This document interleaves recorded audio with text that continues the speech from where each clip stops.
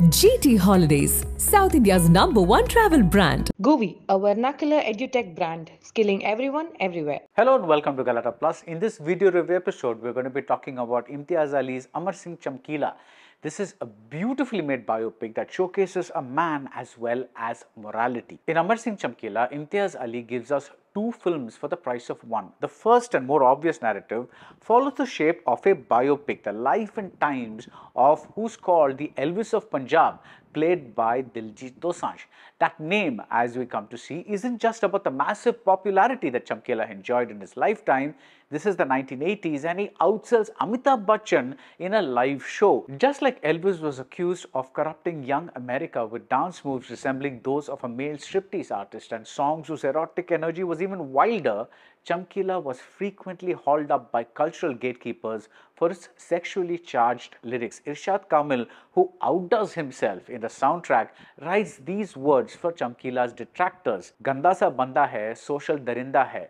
The rise and fall of a musician who brought joy to the masses and the question whether art ought to be censored for those very masses. These two layers come together magnificently in this movie. The film opens with much excitement as Punjab's most famous ambassador car is sighted by a wedding party. They have commissioned a music performance by Chamkila and his wife Amarjot, played by Parineeti Chopra. And from then on, Imtiaz, who co-wrote the screenplay with Sajid Ali and his brilliant editor Aarti Bajaj, do their trademark thing. We get small, sometimes micro scenes that get to the heart of the emotion in a heartbeat. And these small scenes come together like pieces in a colorful quilt. The film uses the assassination of Chamkila and Amarjot as a pivot point and keeps going back and forth in time. There appear to be many suspects. There are the fundamentalists, there are the militants who rose in influence after Indira Gandhi was shot dead, there were the rival singers, there were the loyalists that Chamkila abandoned along the way.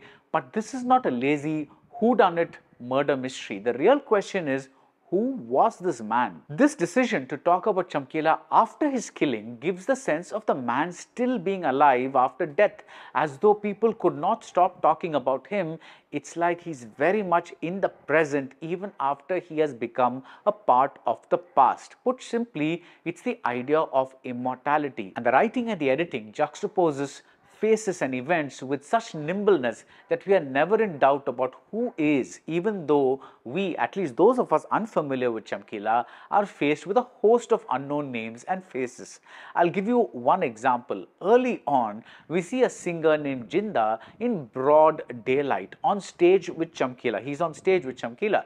Cut to we get a profile shot of Jinda at night as he adds his two bits about who Chamkila was from his point of view. The film thus isn't a definitive portrait, rather like a folk story passed on through the oral tradition. It is a collection of these orally narrated points of view that give us different facets and dimensions of a beloved but controversial man. At times, Chamkila himself becomes a narrator of his life. There is a great bit where he sits down to eat and appears displeased that the roti is cold. You think the scene is about one emotion, but it quickly turns into another, and we get the feeling that perhaps it is not fully possible to know this man. In another brilliant scene, Chamkila's father shouts at him for cutting his hair and disrespecting Sikhism, but Chamkila calmly hands over a bundle of money and the old man quiets down immediately. As always, money solves all problems, but what were Chamkila's own feelings about his religion? That we may never get to know. What has survived, what we know for sure, is the music, and A.R. Rahman hits it out of the park. The soundtrack album is superb, as is the background score. Imtiaz and Rahman fill the narrative with silences so that we really feel and register the emotion when the instruments make themselves heard behind the action. Like when an acoustic guitar is heard during a conversation outside a police station, or when a sitar is heard as Chamkila talks to Amarjot alone for the first time, or when a flute and strings are heard when Chamkila confronts another woman in his life, or when a dramatic whiplash is heard when militants enter Chamkila's home. In a sense, Rahman's score grows over the course of the film. The first time we see the assassination, it's in total silence. When the same scenario is replayed towards the end of the film, we get a big orchestral score. The first time, the man is a stranger. The second time, we have come to know him to the extent that we can. So the emotion produced by the big score is truly earned. This is the rare movie that does not use its background score as a blunt instrument to pound the audience into emotional submission. There are scenes where we crave to know more about the emotional logic. Why did Chamkila leave the first woman in his life before marrying Amarjot? Why did Chamkila abandon his loyal manager before going to perform in Canada? This unknowability is emphasized with a series of distancing devices. For one, there are the photographs of the real life Chamkila and Now, most biopics seek to maintain the illusion that the actors playing the subjects of the story are really the real people. And maybe at the end of the film, uh, over the closing credits, we may get reminders of those real people, you know, those real life photographs. But Imtiaz destroys this notion by constantly going back to pictures of the real Chamkila, the real Amarjot, even as Diljit and Parineeti are playing Chamkila and Amarjot on screen. Amar Singh Chamkila keeps playing with form. Whenever we listen to performances, we hear the songs in Diljit's and Parineeti's own voices, so there is no dissonance between the voices they speak in and the voices that they sing in.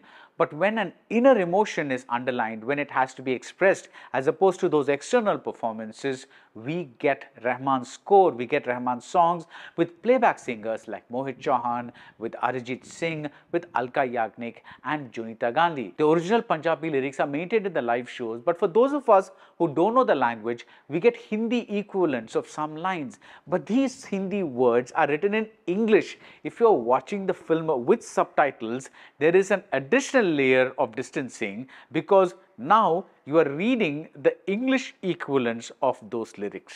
Apart from the music, we get split screens designed like two squares on a film strip. We get animation and when we see love bloom from Amarjot's point of view, from her side, we get flares on the borders of the frames like those old films where the edges of the camera were blurred out with Vaseline. Sylvester Fonseca is the cinematographer and this is one of the rare instances we see something flashy. Otherwise, he leads us through the story with the practiced casualness of turning the pages of a book. A lot of Amar Singh Chamkila is a familiar story, but the individual scenes and the actors are so good that they reinvent the broad beats, like in the bit where Chamkila and his manager hear a record playing his song somewhere and they run in search of it. They find the store where the record is being played and Diljit fingers his mustache. He does that little tweak with a small smile. He's proud, but the gesture, the smallness of the gesture makes it a muted kind of pride. When he makes a reference to his Dalit roots, Chamar hoon par bhuka nahi marunga,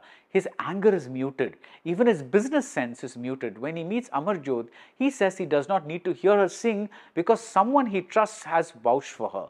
The innocence and naivete in Diljit's utterly captivating performance that goes a long way in making Chamkila someone you root for all the way and Parineeti too nicely underplays her part. On stage she keeps looking down as though she does not want to see audiences looking at her while she's singing those songs. So why did these two people sing those songs, sing such songs? One plausible reason is that Chamkila had no pretenses and filters and he simply wrote the way people spoke or simply said the things most people thought in private but would not say or express in public. After all, look at how the DSP speaks to his fawning clarinet इतना भी मक्खन न लगाओ कि अंदर हाथ घुस जाए। Look at how women in the song नरम कालजा ऑब्जेक्टिफाई अ मैन ऑर्गन छोटी सी आरी लेके तू क्या कटेगा jungle you know makes you laugh right look at the lewd lines sung at weddings even when chamkila tries to change his image and make a devotional album by the way that too became a blockbuster now even when he's doing this the masters want him to sing the songs that made him a star because they need to laugh amidst their troubles and for them this is a valid form of entertainment and this is what chamkila says to a posh jeans wearing reporter who says that he objectifies women in his songs songs. He does not deny that he does, but he also says छोटे लोग यही पसंद करते हैं and by छोटे लोग he means those who are not privileged. He means the masses. The privileged people and the prudes and the conservatives, they complain, especially after Indira Gandhi's death. They say that people are dying and here is this man singing songs that go, Jija ji meri kamar ka naap le lo. Is it appropriate? But it is at these dark times that people need entertainment and who is to tell them what the appropriate form of entertainment is? Some of the older members of the audience may remember the cultural tug of war that erupted when Choli Ke Piche Kya Hai became a blockbuster and when Govinda and Karishma Kapoor nearly dislodged their pelvises gyrating to Sarkai Sarkailo Khatiya Jada Lage. But both films, Khalnaik and Rajbabu, were blockbusters. In other words, the Chote Log, the masses lapped them up. It is the same conflict that was explored in Milos Forman's The People versus Larry Flynt based on the man who published the pornographic magazine Hustler. If there is such a thing as freedom of expression, then should there be cultural gatekeepers or should people be left to self censor what they want and don't want to read or see or hear. Imtiaz does not attempt to answer this question directly, which is how it should be. This question has no definite answer. It is how each one of us, how each individual responds to the issue. So Imtiaz just puts up both sides and leaves it for us to decide. Chamkila says, why am I being targeted when other singers sing such songs too? Could it be jealousy? Or is it that the most popular one becomes the most sought after when you want to set an example and do good for society. But indirectly at least, Imtiaz lets us see where his sympathies lie. He is all for Chamkila and all against cultural censorship. The film gives us logical explanations, for example, that Chamkila's caste mentality never really went away, that he remained a slave of the audience all his life, giving them what they wanted. Another logical explanation we are given is that he has risen from rags to riches and he cannot return to where he came from. Chamkila tells Amarjot that let's make money first, फिर आराम से सोचेंगे क्या सही है और क्या गलत. But emotionally speaking, Chamkila comes off like a martyr for a cause because of the grand eulogy Rahman gifts him. And that's the song Vida Karo. The beautifully penned words mask the sarcasm that drips through the song it says, Let me go because a dirty man like me does not deserve to be in your world of pure people. Tum sabhi saaf sahi hu mela mein. The moving song breaks your heart and makes you wonder what art is and who gets to decide how it is practiced or how people choose to entertain themselves. In this age of social media and rampant armchair activism, Amar Singh Chamkila raises important questions and yes, it is also a beautiful film. And that's it about Amar Singh Chamkila. If you like this video review, do subscribe to Galatta Plus and see you soon at the movies. GT Holidays, South India's number one travel brand. GUVI, a vernacular edutech brand, skilling everyone everywhere.